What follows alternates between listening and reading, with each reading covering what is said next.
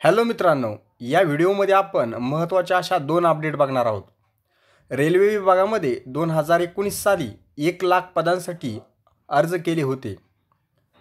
त्यांची परीक्षा आता होण्याची चिन्हे आहेत.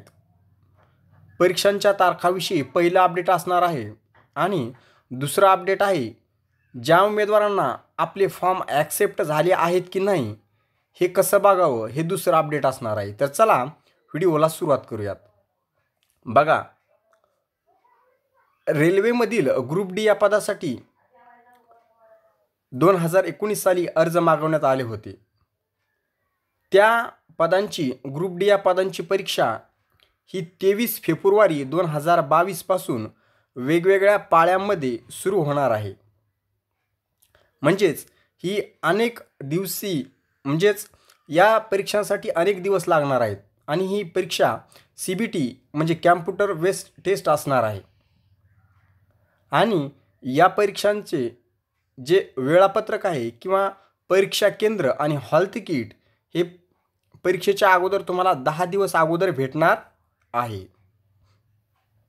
त्यानंतर महत्त्वाची माहिती अशी आहे की अनेक उमेदवारांचे जे अर्ज आहेत इथे जवळपास संख्या त्यांनी दिलेली आहे. चार लाख पंच्याऐंशी हजार सहाशे सात उमेदवारांचे अर्ज रिजेक्ट रिजेक्ट झालेले आहेत.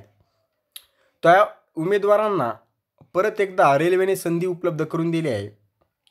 त्यांनी त्यांचे फोटोग्राफ्स आणि सिग्नेचर परत अपलोड करायचे आहेत. कोणासाठी? की ज्यांचे अर्ज रिजेक्ट झाले आहेत. परंतु ज्या उमेदवारांना आपला अर्ज ॲक्सेप्टेड म्हणजे स्वीकारला गेलेला आहे किंवा रिजेक्ट झालेला आहे हे जर बघायचं असेल तर त्या उमेदवारांनी काय करायचं आहे? की पंधरा डिसेंबरपासून ते सव्वीस डिसेंबरपर्यंत एक आर आर बीमार्फत एक लिंक तुम्हाला दिली जाईल. त्या लिंकमध्ये तुमचा रजिस्ट्रेशन नंबर आणि तुमची जन्मतारीख टाकून तुम्ही तुमचा अर्ज स्वीकारला आहे म्हणजेच ॲक्सेप्ट झालेला आहे की रिजेक्ट झालेला आहे ते बघायचं आहे. आणि तुमचा अर्ज जर रिजेक्ट झाला असेल तर तो कशामुळे झाला आहे? म्हणजेच तुम्हाला परत फोटोग्राफ आणि तुमची सिग्नेचर अपलोड करावी लागेल.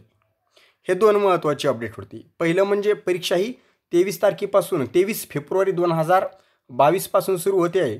आणि दुसरा अपडेट म्हणजे तुम्हाला तुमचा अर्ज ॲक्सेप्ट झाला आहे की रिजेक्ट झाला आहे ते या तारखेच्या पंधरा डिसेंबरपासून तुम्हाला कळणार आहे. तर या व्हिडिओमध्ये एवढंच.